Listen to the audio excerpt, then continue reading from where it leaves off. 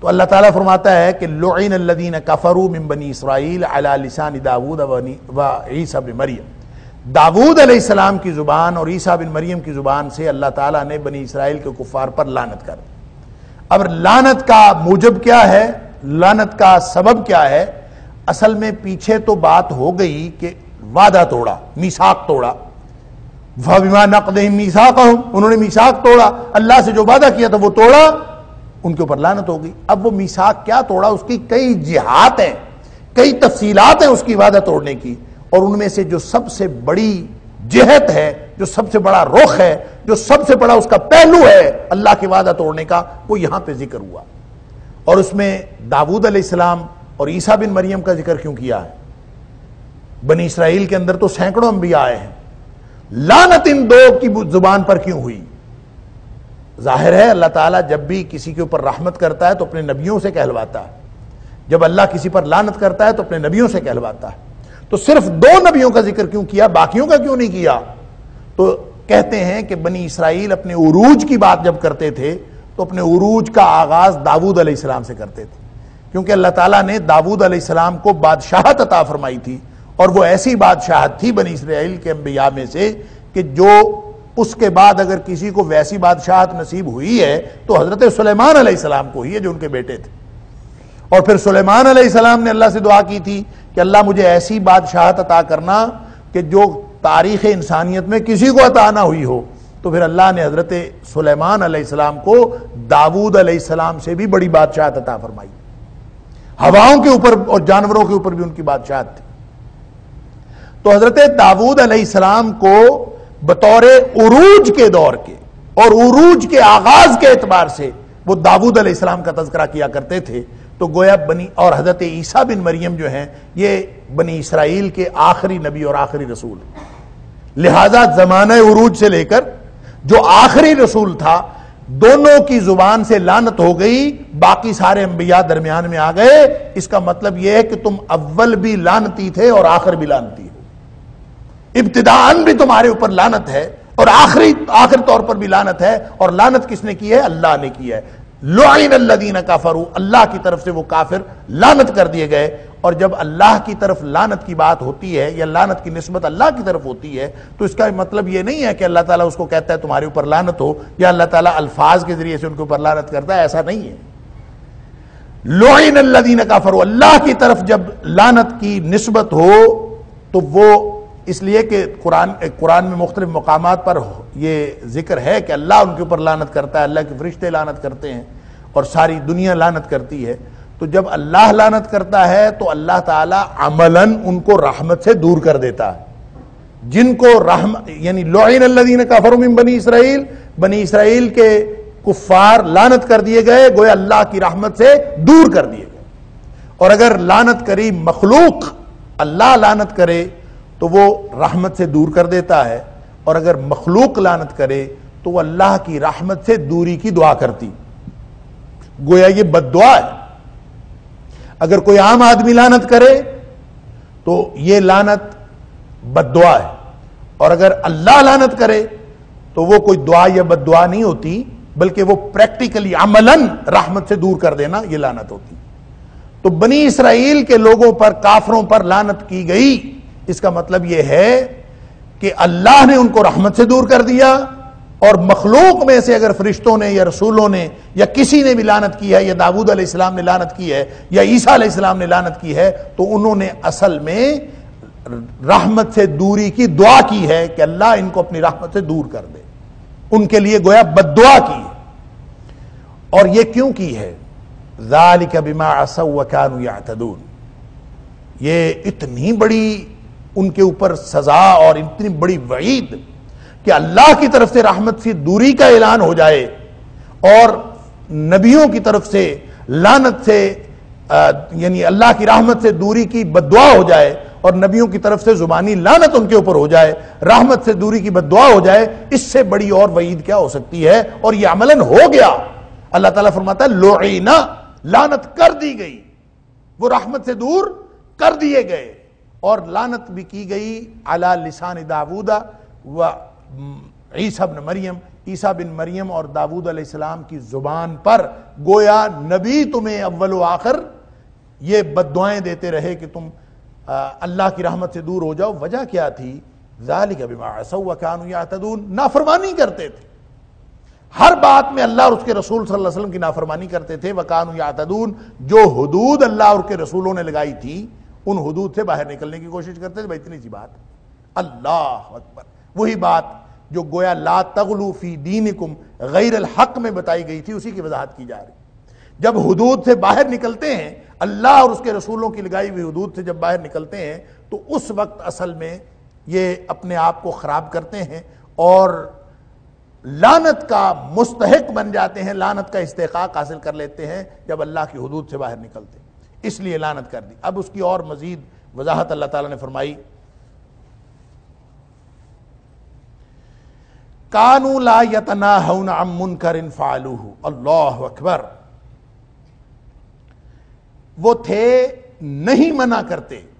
کانو تھے، لا یتنا ہونا نہیں منع کرتے تھے ان منکر، اس برائی سے۔ فعلوہ جو وہ کرتے تھے۔ یعنی برائیاں ہوتی تھیں، وہ اس سے منع نہیں کرتے تھے۔ کانو لا یہ ان کے لانت کی وجہ بتائی جا رہی۔ جو لانت کا سب سے بڑا سبب بتایا جا رہا۔ ایک تو سبب ہے نا کہ فبیما نقل میتھاقہم کہ انہوں نے وعدہ توڑا۔ اور وعدہ توڑنے کے جو مختلف پہلو ہیں، اس میں سب سے بڑا پہلو یہ ہے کہ انہوں نے برائی پر کسی کو منع نہیں کیا۔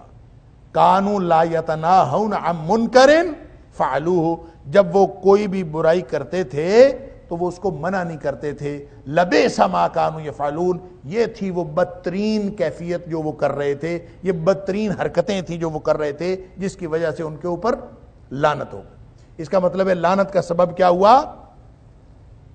امر بالمعروف اور نہی عن المنکر سے پیچھے رہنا۔ نیکی کا حکم نہ دینا اور برائی سے منع نہ کرنا۔ یہ لانت کا سبب بنا۔ تو اس کا مطلب یہ ہوا کہ کوئی بھی ایسی معاشرت، کوئی بھی ایسا معاشرہ جہاں یہ دو کام نہ کیے جاتے ہوں، امر بالمعروف اور نہ ہی انل منکر نہ کیا جاتا ہو، وہاں اللہ تعالیٰ کی لانت ہو جاتی ہے۔ وہ معاشرہ لانتی معاشرہ ہو جاتا ہے۔ اللہ اکبر۔ ہلاک ہو جاتا ہے، برباد ہو جاتا ہے وہ معاشرہ۔ اللہ اکبر۔ اللہ تعالیٰ نے سورہ ہود میں فرمایا، وما کان ربک لیہلک القرى بظلم.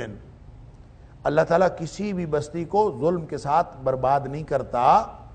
وَأَهْلُهَا مُصْلِحُونَ۔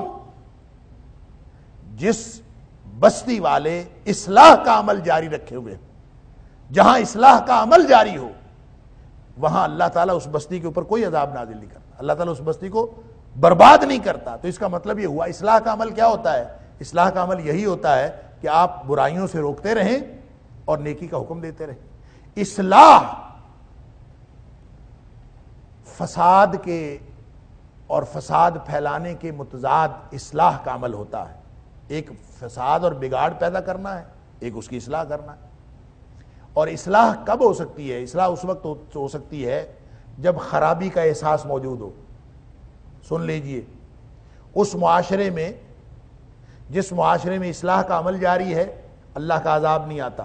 سورہ ہود میں، وما کان ربک لیہلک القرآن بظلم واہلها مصلحون۔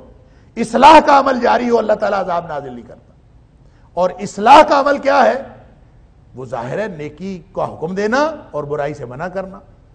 اور یہ اس وقت ہوتا ہے، کسی بھی معاشرے میں یہ اس وقت کیا جا سکتا ہے جہاں خرابی کا احساس موجود ہو۔ بگاڑ کا احساس موجود ہو تو اصلاح ہوگی نا۔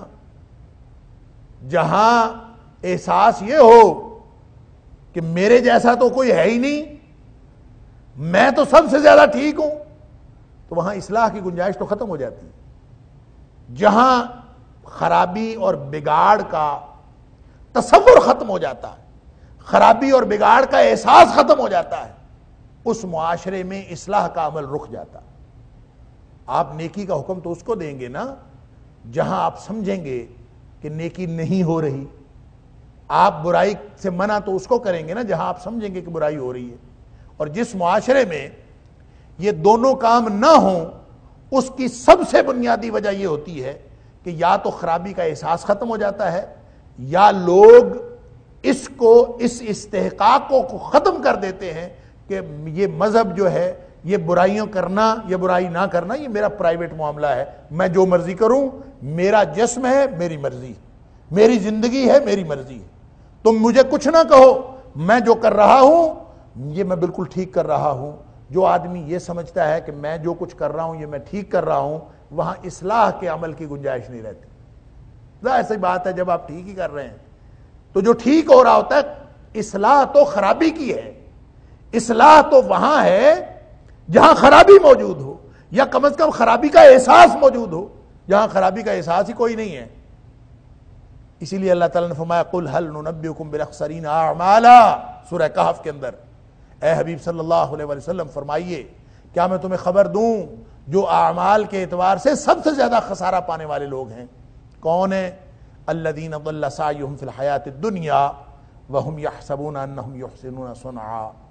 یہ وہ لوگ ہیں جن کی ساری زندگی کی محنت ضائع گئی اور وہ ساری زندگی یہی سمجھتے رہے انہم یحسنون صنعا، کہ ان سے بہتر کام کرنے والا کوئی نہیں ہے۔ وہ سب سے اچھا کام وہ کر رہے ہیں۔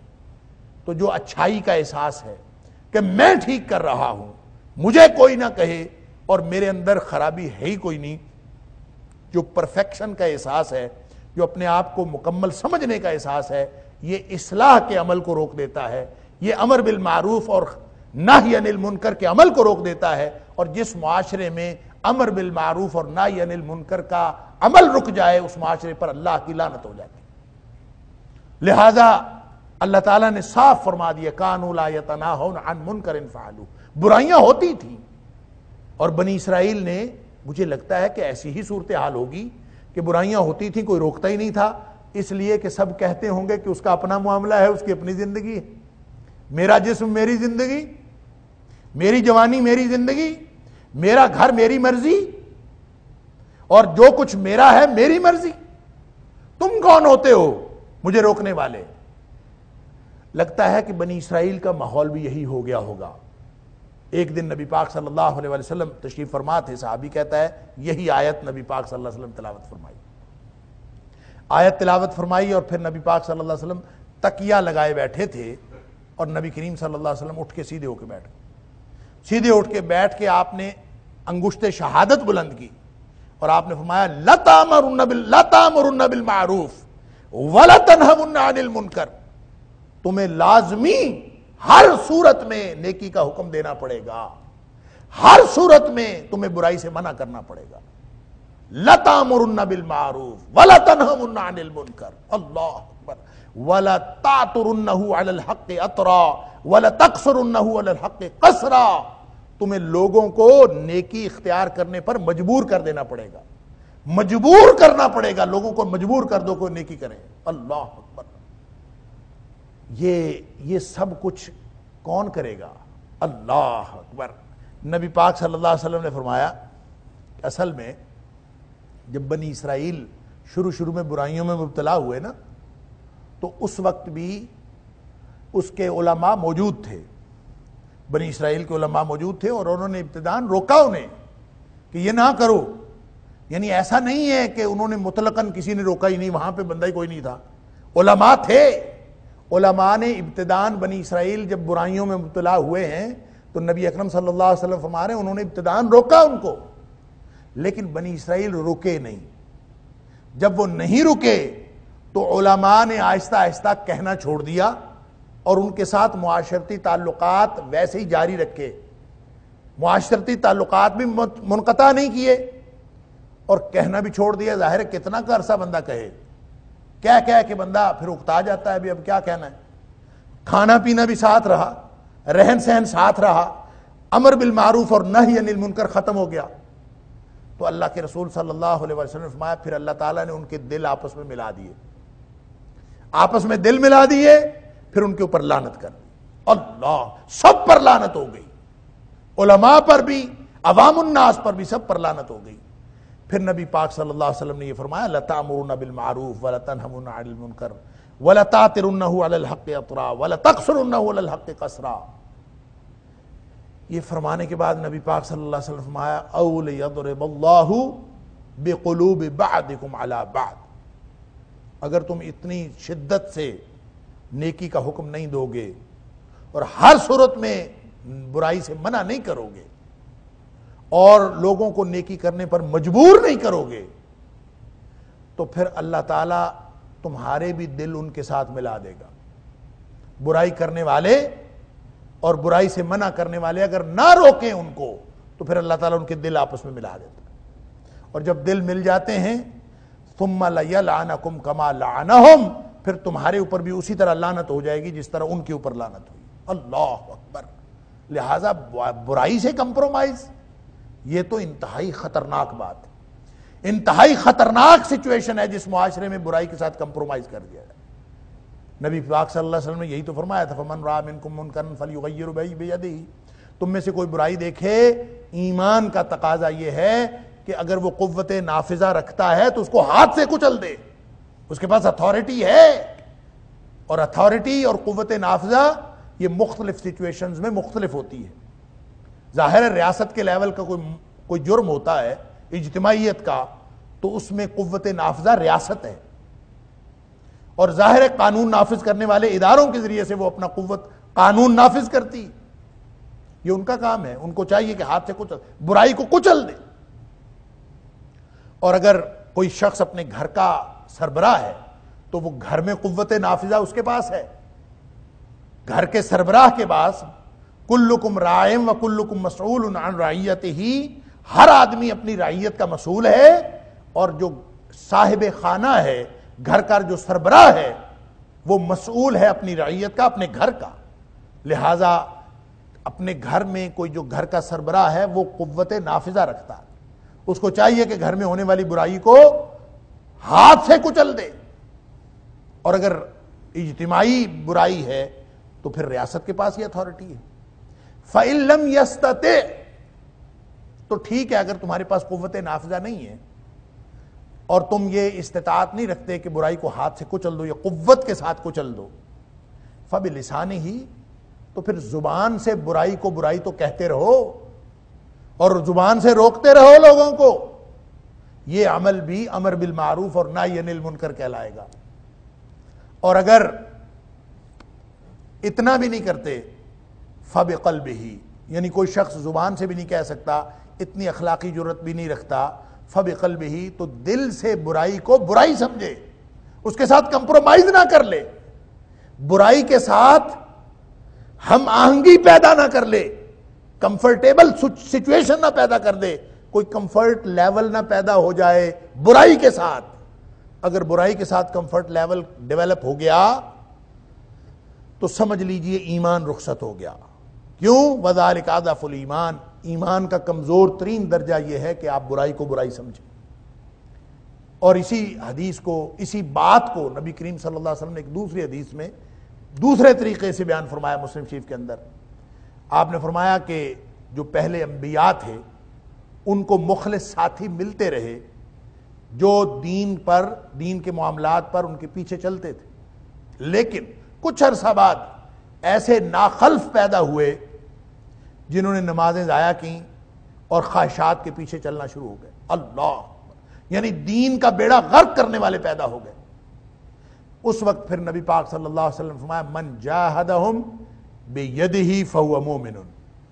جو شخص ایسے لوگوں کے خلاف جد و جہد کرے، قوت نافذہ کے ساتھ، فہو مومن، تو وہ مومن ہے۔ اور فمن جاہدہم بلسان ہی فہو مومن جو ان کے خلاف سرگرمی دکھائے زبان کے ساتھ وہ بھی مومن ومن جاہدہم بقلب ہی فہو مومن جو دل کے ساتھ ان کے خلاف جہاد کرے وہ بھی مومن ہے۔ اور دل کے خلاف ساتھ کیا جہاد ہوتا ہے؟ دل کے ساتھ جہاد یہ ہوتا ہے کہ آپ کبھی بھی برائی کے ساتھ کمپرومائز نہ کریں۔ دل کے ساتھ جہاد یہ ہوتا ہے کہ ہمیشہ برائی کو برائی سمجھے۔ برائی کی نفرت دل کے اندر موجود رہے۔ اور پھر نبی پاک صلی اللہ علیہ وسلم فرمایا، یہ جو برائی کی نفرت ہے، وہاں فرمایا تھا، ذالک اضاف الایمان، یہ ایمان کا آخری درجہ ہے۔ یہاں فرمایا وَلَيْسَ وَرَاءَ ذَلِكَ مِنَ الْإِيمَانِ حَبَّةُ خَرْدَلٍ۔ دل میں برائی کی نفرت موجود رہے۔ اگر یہ موجود نہیں ہے، تو اس کے بعد ایمان رائی کے دانے کے برابر بھی موجود نہیں ہے۔ وَلَيْسَ وَرَاءَ ذَلِكَ مِنَ الْإِيمَانِ حَبَّتُ خَدَّلٍ اس کے بعد یعنی کوئی برائی کو بھی برائی نہیں سمجھتا اور دل سے نفرت بھی نکل گئی ہے، تو اس کا مطلب ہے ایمان رائی کے دانے کے برابر بھی باقی نہیں بچا۔ اللہ اکبر۔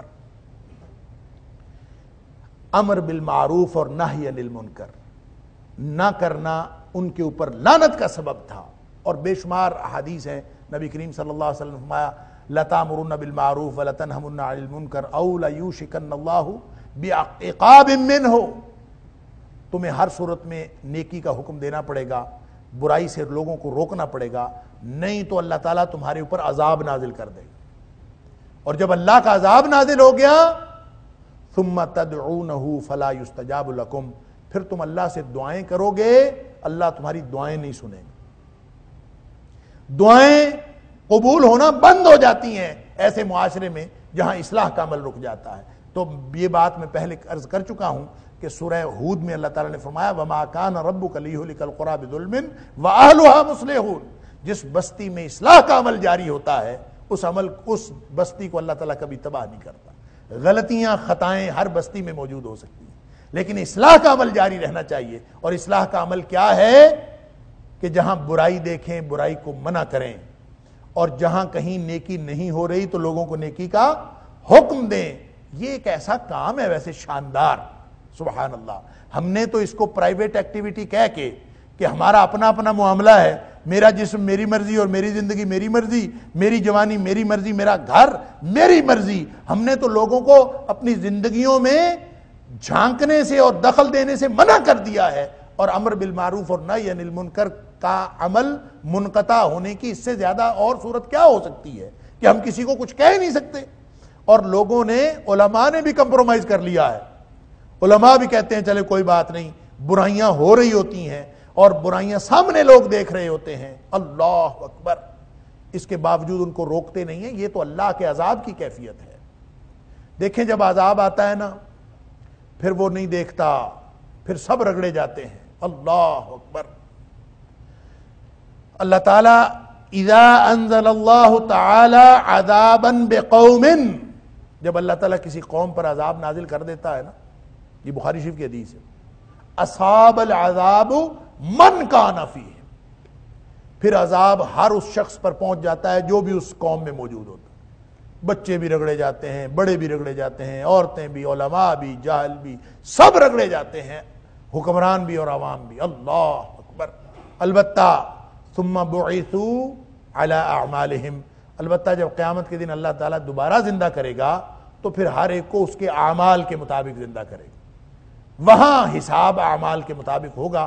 یہاں ایک دفعہ ہی اللہ کے عذاب میں سب رگڑے جاتے ہیں۔ اللہ اکبر۔ سب کیوں رگڑے جاتے ہیں؟ اس میں نمازیں پڑھنے والے کوئی نہیں ہوتے، نیکیاں کرنے والے کوئی نہیں ہوتے، اللہ اللہ کرنے والے کوئی نہیں ہوتے۔ ہوتے ہیں، لیکن اصلاح کا عمل نہیں ہو رہا ہوتا۔ اصلاح کا عمل ہو رہا ہو تو اللہ کا وعدہ ہے کہ ایسی بستی پر عذاب نازل نہیں کرتا اللہ تعالیٰ۔ تو اصلاح کا عمل کیسے ہونا ہے؟ اصلاح کا عمل ہونا ہے امر بالمعروف کرنے سے اور نہ ہی منکر کرنے سے۔ اور یہ عمل اتنا شاندار عمل ہے کہ یہ ذاتی تزکیے کا باعث ہے۔ اگر آپ ذرا کر کے دیکھیں یا آپ اپنے معاشرے میں یا اپنے گھرانے میں، اپنی فیملی میں اس شخص کو دیکھیں جو نیکی کا حکم دینے سے نہیں چوکتا اور برائی سے منع کرنے سے نہیں چوکتا۔ ایسا شاندار عمل ہے۔ سبحان اللہ آپ ذرا سوچیں تو صحیح کہ ایک آدمی دوسرے کو کہتا ہو کہ نمازیں پڑھا کرو۔ نماز پڑھا کرو۔ جہاں بیٹھتا ہے کہتا ہے نماز پڑھا کرو۔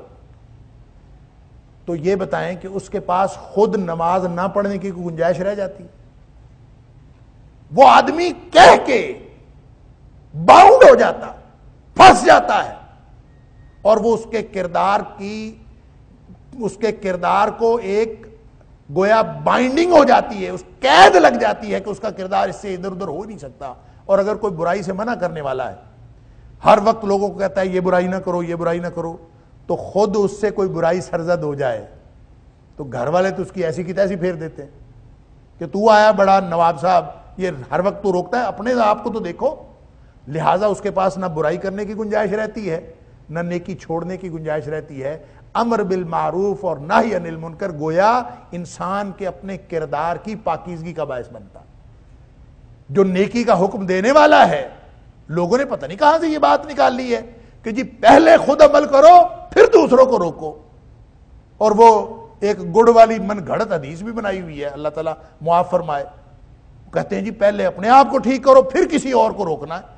اپنے آپ کو ٹھیک کرنے کے لیے بھی دین ٹوٹا ہوا، ٹکڑیوں میں بٹا ہوا دین نہیں ہے۔ یہ جڑا ہوا دین ہے۔ لہذا اپنے آپ کو ٹھیک کرنا اور نیکی کا حکم دینا اور برائی سے منع کرنا، یہ الگ الگ چیزیں نہیں ہیں۔ جس وقت انسان نیکی کا حکم دے رہا ہوتا ہے، اس وقت اپنے آپ کو بھی ٹھیک کر رہا ہوتا ہے۔ جس وقت انسان دوسروں کو منع کر رہا ہوتا ہے، اس وقت اپنے آپ کو بھی ٹھیک کر رہا ہوتا ہے۔ لوگوں نے پتہ نہیں کہاں سے بات بنائی ہے، یہ پہلے اپنے آپ کو ٹھیک کر لو، پھر کسی اور کو کہنا۔ اور اس کے لیے ایک من گھڑت روایت بنائی ہوئی ہے کہ نبی پاک صلی اللہ علیہ وسلم، اعوذ باللہ من الشیطان الرجیم، نقل کفر کفر نہ باشد، کہ نبی کریم صلی اللہ علیہ وسلم، جھوٹی بات ہے، بنائی ہوئی ہے کہ نبی کریم صلی اللہ علیہ وسلم کے پاس کوئی آدمی آیا، کوئی خاتون آئی، اس نے کہا میرا بیٹا گڑ بہت کھاتا ہے، اس کو منع کریں کہ گڑ نہ کھایا کرے۔ نبی کریم صلی اللہ علیہ وسلم نے اس کو کہا، کل لانا وہ اگلے دن آئی اور نبی کریم صلی اللہ علیہ وسلم نے اس کے بچے کو کہا، بھائی، گڑ نہ کھایا کرو۔ تو اس عورت نے پوچھا کہ اللہ کے رسول صلی اللہ علیہ وسلم، یہ بات آپ کل ہی کہہ دیتے۔ آپ نے کیوں فرمایا کل آنا؟ تو آپ نے فرمایا، کل تو میں نے خود گڑ کھایا ہوا تھا۔ تو میں اس کو کیسے منع کرتا کہ گڑ نہ کھایا کرو؟ اور یہ روایت بیان کی جاتی ہے دلیل کے طور پر کہ پہلے بندہ اپنے آپ کو ٹھیک کرے اور پھر دوسروں کو حکم دے۔ حالانکہ یہ بات ہی من گھڑت ہے۔ یہ کوئی حدیث نہیں ہے نبی پاک صلی اللہ علیہ وسلم کی ذات سے منسلک کوئی واقع ایسا نہیں ہے۔ اللہ کا دین تو یہ کہتا ہے کہ اپنے آپ کو بھی صحیح کرو اور لوگوں کو بھی کہو۔ ان الانسان لفی خسر الا الذين امنوا وعملوا الصالحات وتواصوا بالحق وتواصوا بالصبر۔ یہ چاروں باتیں ایک دم ہیں، ایمان بھی لانا ہے۔ کردار بھی بنانا ہے، دوسروں تک پہنچانا بھی ہے، اور پھر اس راہ میں جتنی مشکلات ہیں ان پر ڈٹنا بھی ہے، صبر بھی کرنا ہے۔ یہ سارا کچھ بیک وقت، پورا دین ایک دم لاگو ہوتا ہے۔ یا اے ایمان والو ایمان اسلام کے اندر پورے کے پورے داخل ہو جاؤ۔ یہاں پک اینڈ چوز نہیں ہے۔ کمپلیٹ پیکج ہے۔ اور اس کمپلیٹ پیکج میں اپنی اصلاح بھی ہے۔ اور امر بالمعروف اور نہ ہی انل منکر بھی ہے۔ اور صحیح بات یہ ہے کہ امر بالمعروف اور نہ ہی انل منکر اپنی ذاتی اصلاح کا بہت بڑا ذریعہ ہے۔ آپ کرنا شروع تو کر دیں آج۔ آج شروع کر دیں، آپ اپنے اندر تبدیلی محسوس کریں گے۔ اس لیے کہ جب آدمی کسی کو کہتا ہے تو خود وہ عمل کرنے سے پیچھے رہ نہیں سکتا۔ اور جب آدمی کسی کو منع کرتا ہے، خود وہ برائی کرنے کی گنجائش، بلکہ اور بھی کوئی برائی کرنے کی گنجائش باقی نہیں رہتی۔ تو گویا جو مومن ہوتا ہے، جو امر بالمعروف اور نہ ہی منکر رکھنے، کرنے کا کردار رکھتا ہے، وہ تو ایک برہنہ تلوار کی طرح ہوتا ہے، ننگی تلوار اوپر پڑی ہوئی ہے، جس کے اوپر کوئی چیز گرے، ٹک نہیں سکتی، وہ کوئی ادھر گر جاتی ہے، کوئی ادھر گر جاتی ہے، تو مومن کا کردار اتنا صاف اور شفاف ہو جاتا ہے جو امر بالمعروف اور نہ ہی منکر کرتا رہے۔ لیکن جس معاشرے میں اس کی اہمیت ہی ختم ہو جائے، پھر لانت ہوتی ہے۔ کانو لا یتنا ہونا ان منکر فعلو ہو لوگ برائیاں کرتے تھے، لیکن بنی اسرائیل نے ان کو پرائیویٹ معاملہ قرار دے کے کہ ان کا ذاتی معاملہ ہے، ان کے ساتھ کیا بات کرنی ہے؟ اللہ اکبر، ہم نہیں بات کرتے۔ دیکھیں، لوگ کہتے ہیں مولویوں کو کہ مولوی ایسے خام خواہ لوگوں کی زندگی میں دخل اندازی کرتے ہیں۔ دیکھو امر بالمعروف کرنا اور نہ ہی نیل منکر کرنا، یہ بنیادی فریضہ پوری امت کا ہے، یہ صرف مولویوں کا نہیں ہے۔ یہ پوری امت کا فریضہ ہے۔ اور جس معاشرے کے اندر یہ فریضہ ختم ہو جاتا ہے، یہ عمل رک جاتا ہے، وہ معاشرہ اللہ کی لانت کا مستحق بن جاتا ہے۔ اللہ کے رسول صلی اللہ علیہ وسلم آیا کانت بنو اسرائیل تسوسہم الانبیاء۔ جو بنی اسرائیل تھے نا، ان کے نبی ان کی سیاست کرتے تھے۔ ساسا یسوسو کا معنی ہوتا ہے، یہ ہم نے تو سیاست کا معنی دھوکہ فریب کر لیا نا۔ اور یہ ہماری تو آج کل سنا ہے، فیروز اللغات میں سیاست کا معنی ہی دھوکہ فریب لکھا ہوا۔ ان کو کیا پتا کہ ساسا یسوسو عربی زبان کا لفظ ہے۔ اس کا مطلب ہوتا ہے نگرانی کرنا مانیٹرنگ کرنا۔ اور مانیٹرنگ اور نگرانی یہی ہوتی ہے کہ جہاں خرابی ہو، اس کی نشاندہی کی جائے اور اس کی اصلاح کی جائے۔ جہاں پہ کوئی نیکی کرنے کا امکان ہو، وہاں نشاندہی کی جائے اور اس کا حکم کیا جائے۔ یہ مانیٹرنگ ہوتی۔ نبی کریم صلی اللہ علیہ وسلم فرمایا، بنی اسرائیل کے انبیاء یہ کام کرتے تھے کہ وہ معاشرے کو، کے اوپر نگاہ رکھتے تھے مانیٹرنگ کرتے تھے اور جہاں کہیں یعنی پوری نگرانی کرتے تھے تسوس الانبیاء اور جب جب کبھی معاشرے میں نبی چلا جاتا تھا تو اللہ تعالیٰ اس کی جگہ نیا نبی بھیج دیتا تھا۔ یعنی نبیوں نے نگرانی کرنی تھی تو ہر معاشرے میں کوئی نہ کوئی نبی موجود رہتا تھا۔